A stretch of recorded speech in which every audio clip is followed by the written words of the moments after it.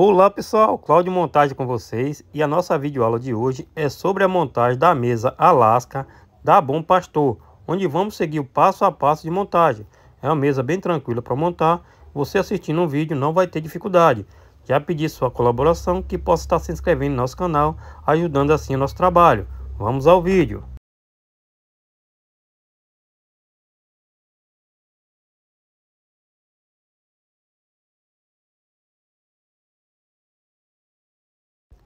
É isso aí, vamos dar início à montagem da mesa.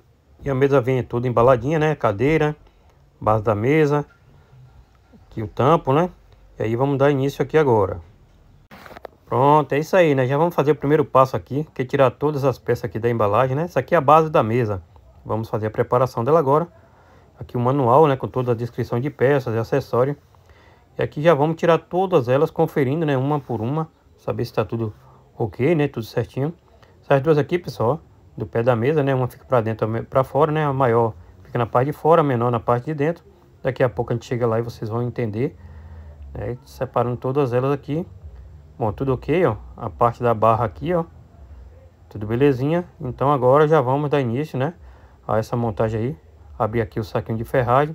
Os parafusos aí. Durante a montagem, vocês vão conhecendo aí cada lugar dos parafusos, né? Cada um com a sua função. Já vamos dar início aqui à montagem da base. Essa mesa eu estou montando pela primeira vez, né? Junto com vocês, aqui é a peça de número 3. Essa aqui, ó, a peça de número 2. Ela tem uma furação embaixo, vai casar com essa furação daqui, ó. O parafuso maior da embalagem letra B. Eu vou colocar ele aqui. E agora, olhando aqui a furação, essa parte aqui do friso, ó. Fica para dentro ali, né? Aqui conferindo certinho. Agora é só encaixar aqui, ó. Fazer o aperto de um lado, do outro Agora já vamos pegar aqui a peça de número 1, que é essa aqui, essa lateralzinha, né? Você vê que a furação embaixo aqui, ó, casar certinho. E aqui já vamos pegar agora o parafuso letra A, que é esse maior da embalagem. Já vamos encaixar ele aqui. Pegar agora a porquinha, ó, colocar aqui no furo, centralizar, pegar a faca aqui para gente guiar ela, né? deixar ela certinha para não é, montar, pessoal. Se tiver torto, né, o parafuso não vai até o final e acaba montando na porca, danifica o parafuso e a porca. Centralizando a parte de baixo da mesma forma, né? Centralizei, já vamos aqui dar aquele aperto legal. Olha aí, centralizou. Prontinho, apertamos aqui um lado, né, pessoal? Já tá ok, ó. Vamos fazer a mesma coisa, né, do outro lado. Pegar aqui, ó, a outra peça de número 1. E já vamos centralizar ela aqui na mesma sequência. Posicionar o parafuso. E da mesma forma aí colocar a porquinha. Qualquer dúvida vocês tiverem aí nos comentários, você pode deixar os comentários aí, entendeu? Que a gente vai estar tá respondendo a todos aí. Pelo que eu estou vendo, não é, não é difícil não, ela é bem tranquila para montar. Então aí já fiz o, o aperto legal aqui. Colocando o outro de baixo. E aí, já pedi aquela colaboração de vocês que possam estar se inscrevendo no nosso canal aí, nos ajudando, né, incentivando aí nosso trabalho. Essa parte de baixo já está ok, pessoal. Beleza? Agora já vamos pegar essa parte de cima, né, parafusar aqui na parte de cima, que é a peça número 4, tá vendo? Vamos centralizar ela. Essa peça número 4, aqui você vai ver, tá vendo? Os furos aqui, ó, vamos casar certinho os furos, alinhar e agora vamos fazer o aperto. O parafuso que vai aí é esse aqui, ó. No manual é o letra D. Agora tem que parafusar certinho. Fiz a montagem de um lado, né? Da mesma forma agora já vamos montar outro lado. Colocado a peça número 1, centralizada aqui, ó, em direção do furo a outra aqui agora. Mais uma vez pegar aqui o parafuso letra B, né? Parafusar por baixo. Do outro lado aqui também. Na parafusar você tem que olhar direitinho para você não parafusar fora, hein? Se parafusar fora danifica a peça. Encaixar certinho no furo. Já parafusei por baixo. Mais uma vez agora vamos pegar a peça número 1, né? Colocando assim, nessa posição. Esse parafuso que vai aqui, pessoal, da peça número 1, ele é com chave Ali, viu? Número 4. É, acabei não falando para vocês as ferramentas que a gente ia usar. Mas aqui é chave Ali. Não tem segredo. E chave Phillips. Encaixamos aqui. E aí já vamos fazer o aperto. Do outro lado, da mesma forma. Está aqui a peça de cima, né? Vamos centralizar e parafusar. Da mesma forma. As duas bases dos pés já estão montadas, né? Já no jeito. Vamos pegar aqui agora a peça número 5. Que é essa barra aqui, ó. A peça número 5, pessoal, ela vai encaixar aqui embaixo, ó, desse jeito aí, ó. Vamos encaixá-la aqui e vamos parafusar. Na hora de parafusar ela, você tem que olhar direitinho, né? A posição correta, para poder o furo não ficar muito afastado. Então aqui, ó, centralizado, tá vendo? Esses quatro furos aqui, ó, certinho aqui, né? Na mesma direção, para não ficar nem para lá, nem para cá. Olha aqui, ó, você vai apontar, né? Olhar direitinho. E aí agora é só fazer a colocação do parafuso. Eu virei ela aqui nessa posição porque dessa forma aqui você tem um apoio melhor para fazer a colocação do parafuso. Centralizei. Vou pegar agora os parafusos aqui que é o letra D do manual. Esses aqui, ó. E agora é só fazer a colocação deles aqui, ó. Olhar se está na posição correta, né? Tem que estar tá centralizado. E aí agora é só fazer o aperto, né? Olha aí, centralizar certinho aqui, do outro lado. E fazer agora o aperto do parafuso, pessoal. Não pode ficar passando muito para fora, né? Já vamos aqui na prática, né? Tá naquela posição que eu mostrei para vocês, centralizado. Agora já vou fazer aqui o aperto do parafuso. E aí que aconselho você usar uma parafusadeira. Dá para você montar na mão? Dá. Mas os parafusos são um pouco duros, pessoal. E aí você não vai ter aquele é, precisão, entendeu? Na hora de parafusar. Com a parafusadeira você vai ter melhor êxito. Então aqui, ó, que beleza. Já parafusando aqui. Depois de colocar desse lado, eu vou virar a mesa, né? Vou levantá-la aqui. Pra gente colocar o outro lado. Dessa forma você vai colocá-la com melhor, tá vendo? Vou levantar ela aqui agora, ó. Desse jeito aqui.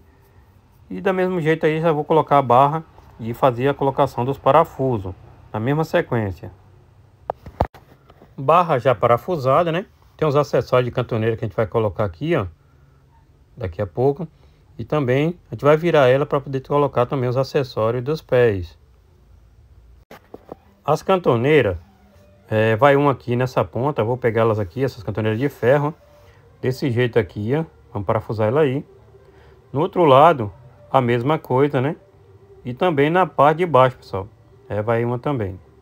E na lateral aí, vai também, vou mostrar para vocês que vai uma aqui, ó. Nessa ponta.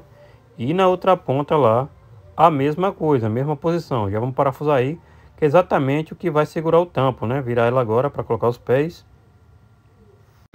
Com a base já virada, vamos agora aos pés. Para isso a gente vai pegar aqui, ó. Tá vendo? Essas porquinhas aqui com garra. Já vamos apoiar nos furos e aqui você pega o martelo, né? Você dá uma batidinha para que ela possa encaixar completamente, ó. Dessa forma aí. Esse lado aqui já encaixou. Fazer a mesma coisa aqui. E aqui, pessoal, sabe, eu gosto dessas mesas da Bom Pastor, porque ela vem com esses pés regulares. Às vezes você monta e o piso não tá 100%, então aqui é só você pegar as bolinhas aqui, ó, porque ela é encaixada aqui, ó, você vai girar, né? Olha só dessa forma, então aqui você pode estar tá ajustando a sua mesa de acordo com o piso. Tem mesa que às vezes não tem como você fazer regulagem, né? Devido a ser fixa. Já esse aqui, o pé dele é giratório. A gente consegue deixar ela nivelada, ó. Bom demais. Bom, feito esse passo aqui agora, né, a gente vai colocar as cantoneiras, pessoal. Tem essa tampinha aqui de acabamento, ó. Para cobrir o parafuso, né? Ficar tudo bonitinho, ó. É só fazer a pressão delas, que ela já encaixa. Beleza? É isso aí. Então aqui eu vou colocar em todos os parafusos, né? Para não deixar visível. Bom demais. Bom, então é isso aí. As cantoneiras, né? Já coloquei aqui na ponta. Você pode ver que tem a cantoneira aqui, ó. O outro lado também. E agora vamos pegar o tampo, né? Vamos deitar o tampo no chão, colocar a base em cima e parafusar. Depois a gente vira. Bom, peguei o tampo, ó, eu virei ele, né? Tá com toda a proteção, ó. Você não pode tirar a proteção, pessoal, porque tem um vidro, né? Tem que deixar desse jeito aqui, ó. Virei com cuidado. E agora eu vou retirar o plástico, colocar a base aqui em cima. E já vamos nivelar, né? Pegar a trena, centralizar ela certinha. E fazer a colocação dos parafusos. Bom, pessoal, é, veja bem. Já coloquei aqui a base em cima do tampo. Não sei se vocês perceberam, vou mostrar para vocês no manual esse tampo aqui, ele veio pequeno para essa base, ou seja, essa base aqui é para mesa de seis cadeiras. Né? Veio invertido. Essa chapinha aqui era para fora, tive que colocar lá para dentro, porque não estava cabendo ali, ó. O outro lado aqui também.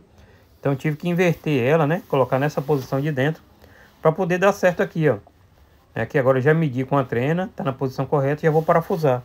Mas o que acontece? Esse tampo não é o tampo apropriado para essa base. Essa base aqui na mesa de seis cadeiras dá certinho. Mas na mesa de quatro cadeiras aqui ó, ficou apertado. Mesmo assim, vamos montar, né? É mostruário da loja. É isso aí, pessoal. Mostrando pra vocês. Tá vendo como tá aqui pelo manual, tá vendo, ó? Essa estrutura, a chapinha por fora, ó.